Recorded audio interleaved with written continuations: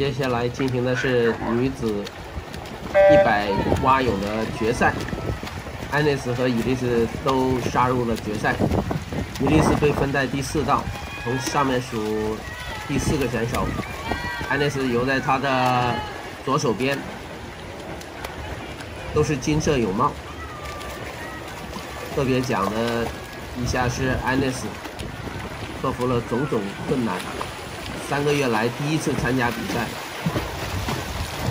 今天上午创造了非常好的成绩。两个小姐妹同时进入了决赛，伊丽丝游在第一位，安妮斯游在第二位，紧随其后。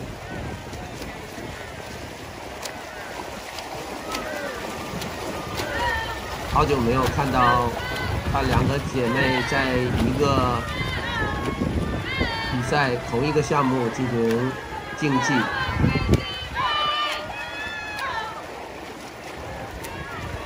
她们两个最好的项目都是蛙泳，一定能创出好成绩。